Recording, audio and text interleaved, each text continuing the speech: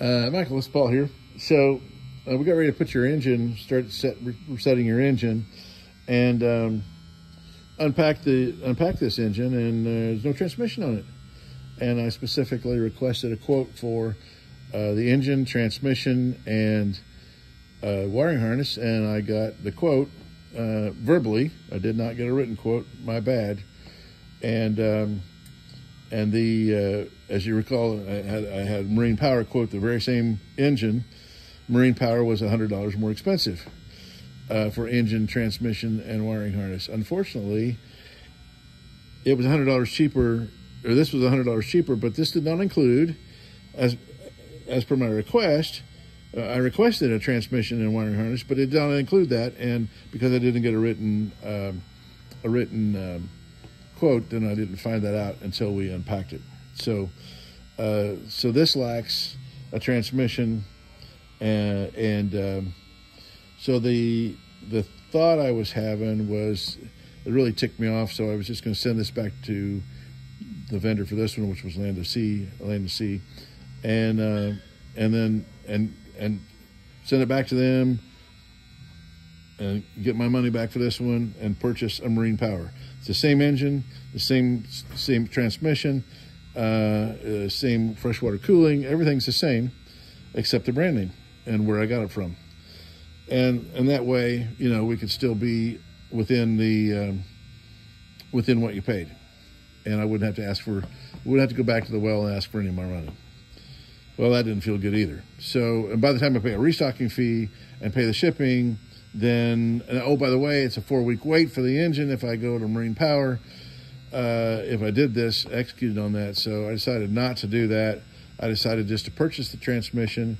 Um, uh, that puts me in the hole two or three hundred dollars, and we're even money. And um, so, uh, anyway, uh, want to let you know where we're at on the engine. So uh, once uh, once you've um, got caught up on the invoices then, which you haven't seen yet.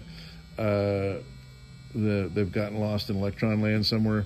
So once you get caught up on those, then, uh, you know, I have no problem cash flowing and buying that transmission. Um, and, uh, and then of course, in the meantime, we haven't let any grass grow under our feet. Uh, we, uh, we've been working on, the, the rot in the decks, which, I have to I can't remember what the budget was for that. And again, I don't like talking numbers over the over the internet.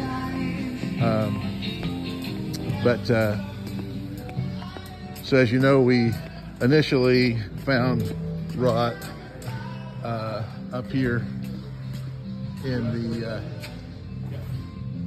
we initially found rot up here in the uh, the decks, uh, and we've. I need. I need a. I'm going to do another video for the, oh, here's it. And your step stool. Sorry. Sorry to keep you waiting.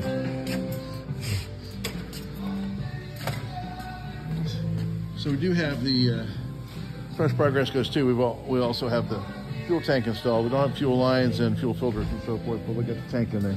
All right, now getting back to the, uh, getting back to the decks. So we knew we had uh, rod over here, looked like a couple of deck planks. It turned out to be more extensive than that. Um, and we also found rot around the hatch uh, once we pulled up the once we pulled up the, um, the, the canvas. So there was rot around that hatch as well. But here, the rot, uh, we ended up having to go down and replace part of the side stakes that were rotted off. So you have ribs across the bottom of the boat. You have deck beams on the top of the boat. And you have side stakes. These are, these structural members are called stakes. We have side stakes. So, so Jeff replaced uh, the ends of some side stakes that were rotted. He replaced the end of a deck beam that was rotted. He replaced a section of this deck beam. We just put it, we just cut out the rot and uh, put in a, a piece of Doug fir spacer um, and so he did, he did all, he's done all that. Uh, he's gotten started on the rot up here around the hatch.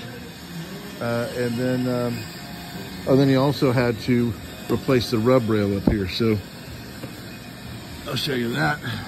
So this is the rub rail. This is referred to as the rub rail. The metal goes on this, on this, on this wood piece. So he replaced this section of rub rail right here that was rotted, and he replaced. And of course, this one had to be steamed into place. He replaced this section of rub rail right here, the very front of it, basically, front of the boat. And of course, that's all steamed into place. And then he had to replace a little section of a plank. Of course, this is painted, so that's no big issue. Um, I think you would, of course, and also in the process of working this rot spot, you had to take out one of the panels on the, uh, had to take this, this uh, panel out here and, uh, and he's got it replaced already with new trim. So, uh, done a real nice job on that. Um, we uh, took the rest of your chrome off. Uh, there was uh, a chrome shifter and some, which goes through here. Your throttles, your control panel, all that stuff's been sent off for chrome along along with, so all that's gone for chrome and um, and the gauges have gone out for to be rebuilt. Um, and I think you've already seen the painting on the uh, inside of the builds. And we put the floors back down for for our work on the engine to install the engine. And then, uh, of course, this floor is going to get covered with uh, the uh, the uh, Nautolex of your choice. We have that all set aside over here.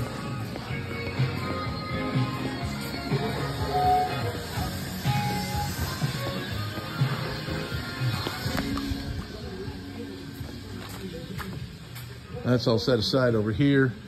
Um, the uh, oh yeah, here's the Nautolex right here. The gray uh, simulated planking.